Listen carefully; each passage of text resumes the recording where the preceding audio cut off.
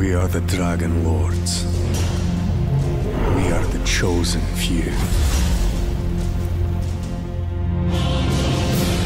We decide the fate of these lands. We master dragons and forge our weapons to prepare for battle.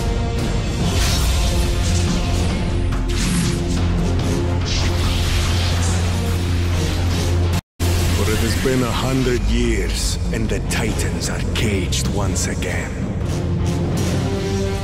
We have heard the call to arms. Across these lands, and into battle we ride.